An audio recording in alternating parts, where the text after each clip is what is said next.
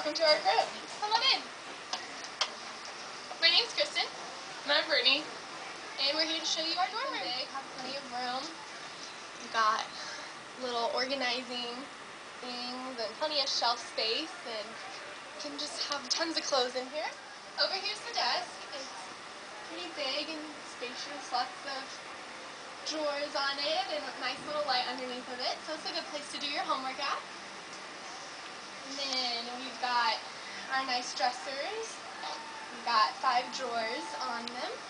And our comfortable matching pink chairs that are great for movie watching.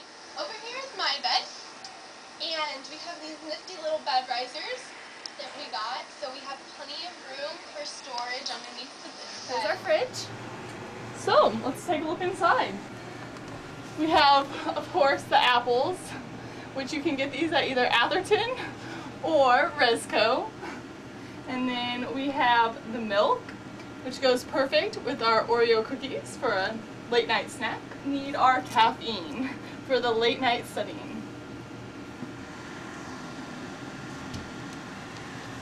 And then over here is my bed, which is extremely soft. I also have a whole bunch of picture frames on my desk and dresser reminding me of all the good times that I had in high school. Thanks for stopping by.